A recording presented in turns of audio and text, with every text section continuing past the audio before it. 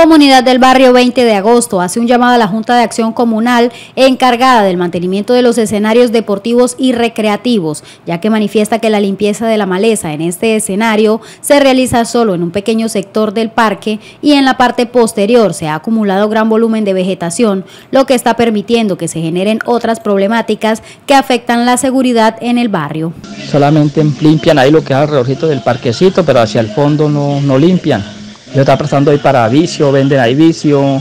eso ahí se presta para muchas cosas ahí, hacia el fondo ahí que eso está alto ya, y esos árboles ahí pues están tapando ahí las lámparas.